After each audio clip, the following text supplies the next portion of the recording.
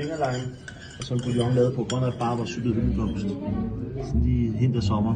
Dejligt at gemme i sæsonerne der, så vi har det solskin også. Der er rigtig godt ud fra. Velbekomme. Tak. Jeg bruger bouillon med vanilje og cognac i. Lidt af bitter urter, og så en tomatvand skilt med bitter olivenolie, og så bitter sweet symphony. Velbekomme.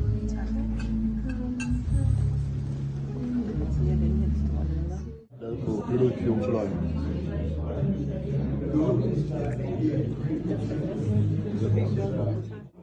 Hvor vi har lavet en samarin her, som er helt super klassisk. Det er der, altså godt nu kører vi igennem os. Så vi hedder nu.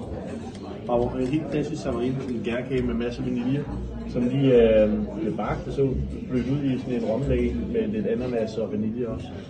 Så lidt ananas, øh, der er baseret ind i midten, ligger der, og så toppet med kokoscreme lavet på den her friskrevet kokos. Så vi gør nær i at rive frisk hver dag, fordi du får en helt anden